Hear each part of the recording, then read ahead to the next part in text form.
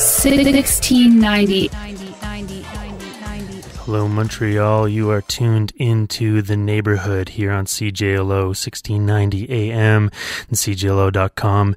This is uh, CJLO's promo director, Josh Spencer, and a host of The Neighborhood. Um, today, we are truly blessed to have Montreal's very own Brigitte Naggar, otherwise known as Common Holly.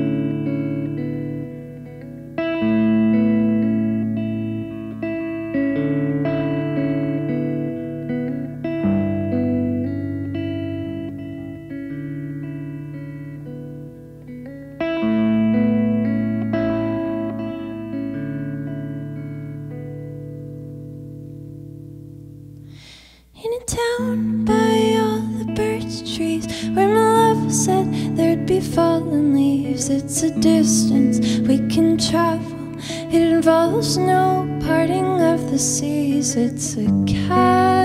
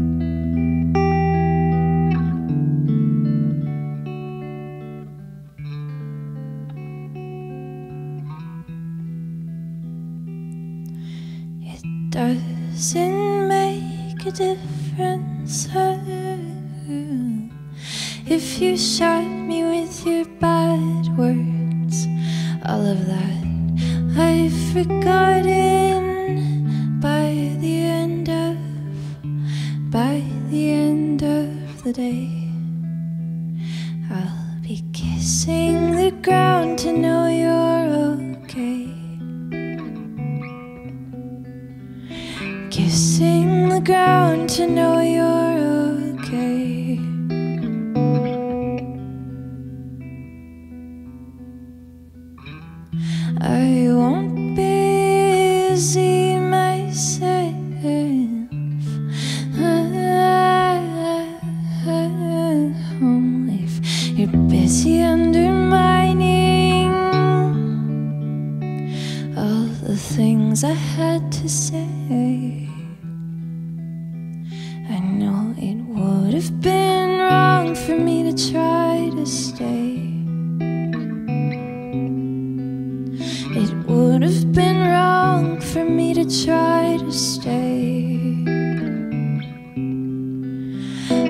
I will love you in the snow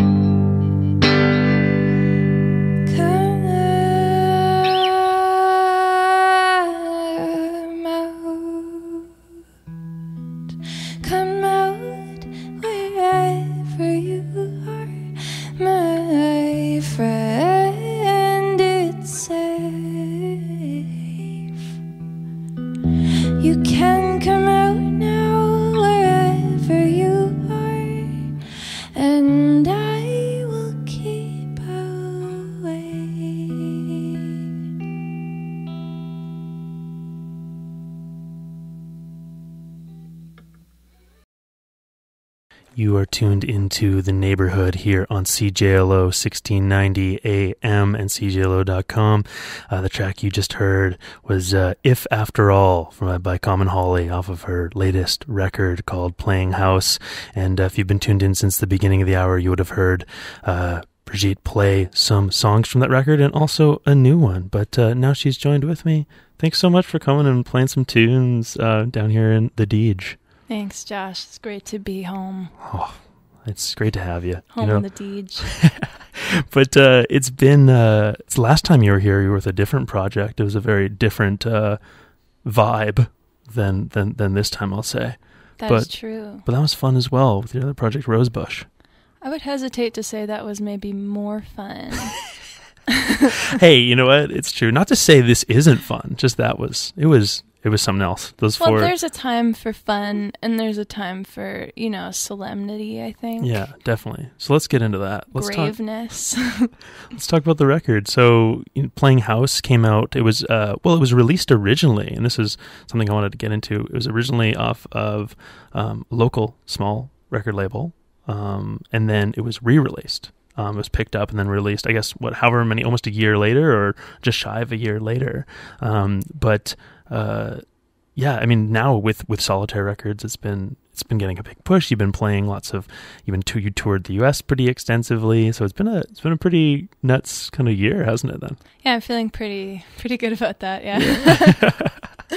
um, but yeah, I mean, it, it's it's been pretty amazing to put something out that I put a lot of work into, and I mean, I think it did pretty well on its own, all things considered. But um, yeah, when I met Dan from Solitaire, things definitely started to get a swift kick in the bum, so to Mhm. speak. So Definitely. So, I mean, diving into that a little bit, um, you you toured. So I, I was looking just after the release, which came out. It came out on October 23rd.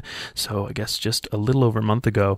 Um, but then you were touring solo in the states, and um, you started off as a you know uh, dressed up as a hedgehog on Halloween at the Stereogum office. I did, yeah. That was brilliant. and then you played with bands such as Fazerdaze, um, Julien Baker, and uh, and then you came back and you even played with uh, Jean Michel Blais, who makes an appearance on your album and is an amazing, amazing uh, pianist. Yeah, I mean, it was so much fun to play with Jean Michel, also because he played in my actual set, which was great. Great to have him doing that with me again. And I mean, it was really fun because we both live two blocks away from the Rialto. So Of course, it's just kind of like a, a real home show, you know? totally. And so. And but out of the bands that you played with in the states and the, the solo touring, like what was you know what was I'd love to hear what your what your favorite show was or who you you know were most excited. I mean, it's, it's tough to choose favorites, but you know um, who who was most you know who you're most excited to to play with. Um, I mean, I absolutely love Half Waif. I think they're brilliant. Mm. That that's a band out of New York. For Right. anyone that doesn't know them yet, you better check them out. And Nandi um, was in a band called Pinegrove, who are doing super well now. They're amazing too. Um, and uh, so I loved that. That show was with well, there were two of them, and those were with Julien Baker, mhm. Who's kind of like an all-time teenage hero. You know. Right. um, And your album is beautiful too. yeah, it's. I mean, she just has a way, and you see her Mhm. perform, and it's like, wow, this person knows what they're doing. You know? How to wrench your guts. Yeah, seriously, how to wrench your guts. People were destroyed. it was a murderous evening both times. Um, so I loved, I loved those shows, and I Mm. mean, for me, it was really fun because they were definitely the biggest audiences I've ever had Right. in Toronto. It was at the Opera House. There were probably 850 people there. Wow. And I do have like a new sing along song, so I had about 500 person choir there in the Oh. audience. It was just like, And that feeling. I mean, Brilliant. how do yeah? How did that feel? Oh, so good. Yeah. You're like, wow, am I God? Commanding all these people. um, Well, asking them to participate, not commanding. yeah, asking them, yeah, manipulating them to do to do what I want. Oh. Yeah. But I mean, that's yeah, that's amazing. Playing for 800 people in Toronto and, and go to cities that I guess I mean that you hadn't played in before. What were some cities that you uh, had uh, yet to visit before this tour? So new cities were um, Washington D.C., Mhm. um, Chicago. I love Chicago. Oh, Oh, my god, such heart, love it. Um, Mm. L.A. I had been to before, but this was my first real show Right. there, um, and that was intimidating as hell. I Mm. think I even said to the audience, I was like, "You guys are really intimidating. Do you get that a lot?" And they were like, "Yeah, It's a good little icebreaker. Uh, um, yeah." I mean, yeah. Call call them out. You know. I was still nervous for like the whole show. Mhm. Yeah, but they were really nice. Everyone was really nice. Um, and I was just noticing, I mean, over the last, yeah, a little while that you're really surrounding yourself with some amazing female musicians. And there's, uh, it's like, it seems like a good little crew, um, got around you in terms of, um, yeah, those bands. I mean, Rose, but not only Rosebush, but also Moms, and which is, uh, you know, all female choir that you're, um, a part of as well. So how has it been to be surrounded by such, yeah, wonderful female musicians? Oh man. I think we're putting a lot of the the males to shame these days Oh, in yeah. music. I just, you know, it, it's so amazing to be surrounded by like these women that are, you know, musicians in every respect. They're instrumentalists, they're composers, they're singers. They have like this immense intuition. They're skilled people. Um, and so, of course, that's inspiring. Um, Moms is amazing because, you know, we can all get together and do backup vocals for each other. And then we also, you know, have our own music that we're starting to work on. Um, and uh, we're actually working on a Christmas tune right now for our friend Shelby's Christmas mix. So that's pretty awesome. Um, and yeah, I think we all come to that with such unique sensibilities. So it, it ends up being something really amazing. And um, Rosebush is just like this happy accident of, Right. you know, three, four women getting together that wanted to, you know, make some punk and then turns out, oh, whoa, like everyone here is a really good songwriter. Right. Let's make some dope ass tracks. So, um, yeah, I mean, I love, I love doing that. Mm. And, and and for people who aren't familiar with Rosebush, this is because it's a relatively new project. Um, I mean, you have the one single online on Bandcamp, but you also recorded uh, four songs live here. Um, I think on the neighborhood, or maybe Champions of the Local Scene. Um, Either one of those shows on CJLO, so people can go check that out on CJLO's um, SoundCloud. Um, the whole session is there. Yeah, those are Um, exclusive drops. Oh yeah, definitely. and then you turn those into a couple music videos too, which were fun. yeah, exactly. those are great. Those are fun. But no, must yeah, super inspiring to be around those people. Um, you know, again, within their all, all their own projects, respective projects, which are amazing on their own right. But then Mhm. also, like you say, to be able to sing on each other's tracks, and I mean, that's amazing. And that's I think that's one of the again the the biggest benefits of being in a real music city like Montreal, in which people are collaborating on every sort of level. Uh, I mean, whenever I think of someone on a million tracks, I think of like Justin Wright or someone you know like playing cello on every song that's come out in the city and He's probably going to be on my next album, to be honest. definitely. Um, and you know, I think that's really amazing. Um, but since you just came back from doing a little, uh, you know, batch of touring, I know a lot of these cities. Um, well, some of the cities you know you've spent time in, of course, like New York is, is one that you're more familiar with. Yeah. But um, some of the other cities you were just kind of passing through. But like, what was your? Do you have anything to say about your kind of what you were surprised by in different, um, you know, cities or or having through conversations with bands from there about the music community and and anything you noticed? You know. Hmm. Well, on this tour, I was always like the op- the only opening act, so that we didn't have any locals per se. Right. Um, I would say that. I mean, it, it wasn't so much about the cities. I remember I got to Washington Mm. And I took a walk up and down the street, and I was like, "Well, I guess this is Washington." and you know, that was my only Experience, experience of it, apart from somebody maybe looking to steal some of my stuff. Mm. But uh, you got you got good stuff. I got good stuff, and you know, it was just me out there. Mm. There were a few moments where I was like, "Wow, I don't love being this vulnerable." Right, of course. Um, and at the same time, like nothing happened, and i've relied so much on people's help, and they really came through. So that was amazing. Um, but yeah, I mean, I guess LA. I have to say, like, I friggin' love LA. Mm. Um, I think it used to be less cool than it is, but everyone from New York moved there. Mm. Um, and so you just have this very cool vibe there. Like Mhm. lots of people doing interesting things, but in beautiful weather. So like people are chill, music is good, people want to hear it. At least that was my experience Right. of it. I know it's not always like that. Of It can be a bit pretentious too, but uh, yeah, that that was probably it for me. Well, it's positive to hear, despite you saying it was a more of an intimidating uh, performance. So Yeah, I think Yeah. it's just like I knew there were people in the audience that were looking to, you know, hate what I was doing kind of thing. Right. and at the same time, like everyone was so kind. I think Mhm. that's Fazerdaze' audience also. They're just like the sweetest people in the world. You've been tuned into the neighborhood here on CJLO, and uh, that was Nerve for the Ages by Unblonde. Um, what's your take? I just feel like whatever he does, he can pull off. Like he's Right. got this sort of seamless aesthetic that covers like any genre. You know, he's like Joni Mitchell to R and B, and it works. Right, it's amazing. Well, Yeah. you're going to be playing uh, alongside um, him on uh, next Friday, uh, December 8th, Yes. at um, the Fairmount Theater. yes. How you feeling about that show? I feel so good about it. So actually, I had met Unblonde at a house show, and um, I was playing, and he said after, like, wow, I really liked your songs. I hope we can play together someday. Mm. And I was like, you're in luck, buddy, because we are. we already are. You don't even know it. and he was like, oh, I didn't even know I was playing that show. And I was like, I knew.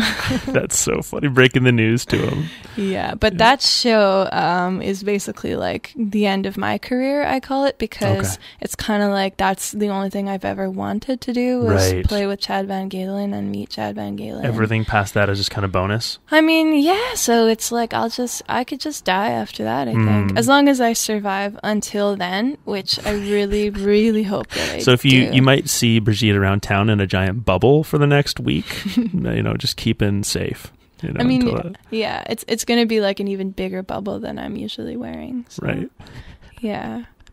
No, well, that's. I mean, that's so amazing to feel that way about a show, you know, and, Mhm. and in in your own town, in your own hood, and um, you know, playing with someone like Chad, Chad VanGaalen, who you know I've seen, and like we were talking about it kind of between um, while we were off air about how this person has meant so much to you musically, and someone who um, maybe you can share what you said about uh, your your dream tour mates. Yeah, I mean, okay, so to start off, I've been a fan of Chad for 10 years, probably or more. Um, and uh, when my manager first asked me, like, who would you want to tour with? And I was like, yeah, I'll give you a list. And then the first 11 items on the list were Chad VanGaalen, just like one on top of the other. So he was like, okay, sure. Like, he, You okay. made your point. and then uh, now it's happening. Oh. Um, so yeah, I'm thrilled. no, that's so exciting. Can't wait. Can't wait for yeah. that. Yeah, yeah, and, and actually, um, this like Chad VanGaalen and like his first four records were actually like a something that I used to consult for um, producing playing house. So No, that's yeah. I mean, that makes a lot of sense now that I think Yeah. about it. Yeah. so, um, no, so people can still get tickets for that. They're not sold out yet. Um, and so that's a Blue Skies Turn Black production. So you can go onto um, BSTB's website. Um, you can search uh, your name or Blonde's name or Chad VanGaalen's name on Facebook. I'm sure if you're Facebook proficient, you can find it. Um, it's it's all out there. and if you're not, you don't deserve to be there. That's right. Just, And, just uh, kidding. I was wrong. Uh, so, but we're also going to be giving away, and also keep posted on um, CJLO's social media and our website, um, because I uh, I'm kind of embarrassed to admit that I forgot to give out a pair of tickets um, to to the show. That's um, so embarrassing. But you know what we'll do? you. You know what we'll do? If anyone calls in the next five minutes to CJLO, um, I will give you a pair of tickets to go see Common Holly um, Unblonde and Chad VanGaalen. Um, the the number is 514 848 7471. So it's 848 7471. So you can call in and I will award you two wonderful tickets to go see it. Oh, we already have a caller. I think Oh. we should take the call. All right, give me one second here. All right, let's see this. Hello? Hi. Hi. You Alex. called in so quickly. I am so I'm so waiting. I've just been making supper and waiting to get the ticket. I am so happy about this. Can I, congratulations, you're going to the show. Um, so can we just grab your name from you? Yeah. Uh, it's Alex. Oh, it's, is is it Alex Robichaud? Yeah. Oh my gosh, I'm Yeah, so yeah. happy. Someone we know too. Someone who's a big fan. Hey, thanks thanks so much for tuning in, Alex. Yeah, no problem. Thanks, I've Alex. just been like chilling, making supper. It's actually really sweet because I'm really excited for the show. So it was like a preview of everything that was. Perfect.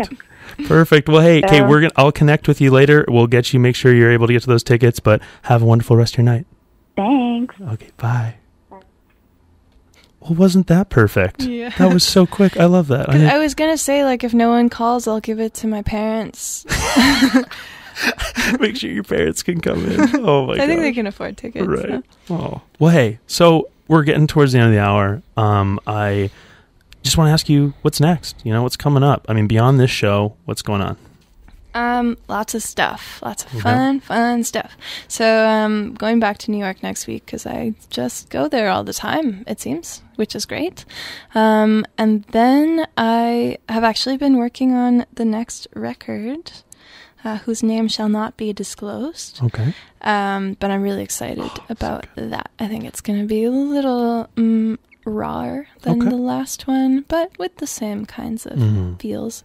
Um, and so I'm really excited about that. And that's going to take me through winter. And then I've got a whole bunch of touring coming up uh, from spring through summer. Perfect. Well, hey, we'll we'll we're always watching. You know, we're always seeing what you're doing. Okay. We're you know we're you know just because we're such big fans. You know, Yeah. come, you know, come to Montreal and doing what you're doing. We're just like you know, su- I'm super happy to see you know you getting your music out there into the world, and uh, Mm. I know people really really appreciate it. And uh, Thanks, Yeah. JJ. thanks. Looking forward to seeing what you do. But um, yeah, let's let's end the hour with a track from another friend and collaborator of yours, Thanya Iyer. Um, is there a track off of that album, Do You Dream, Mm. that comes to mind that you'd like to play? I mean, let's do the classic. I would say Daydreaming. And actually, quick announcement Thanya Iyer is going to be accompanying me at the Chad VanGaalen show. Ooh, So, speaking of, here we are. perfect. Well, what a segue. Yeah, make sure check that out December 8th, next Friday, Fairmount Theater. But uh, thanks again, Brigitte, for coming in. Thank you.